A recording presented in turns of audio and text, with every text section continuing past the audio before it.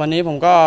วางแผนที่แรกก็กล่าวว่าจะตามไปครับ แต่พอดีแบบมันมีช่วงจังหวะครับที่ขึ้นมาได้ ผมก็เลยลองกดหนีดูครับ ก็ก็กดหนีมาได้ครับ ก็วันนี้ก็รู้สึกดีครับที่หนีมาได้ จนได้ที่หนึ่งครับผมครับอ่า yes อ่าวันนี้เอ้ยอ่าผมก็รู้สึกดีครับที่คะแนนผมอยู่ที่หนึ่งครับ ผมก็จะพยายามเก็บอย่างนี้ให้ได้ทุกสนามทุกสนามจนเป็นแชมเปี้ยนครับ ครับขอบคุณครับ อ่า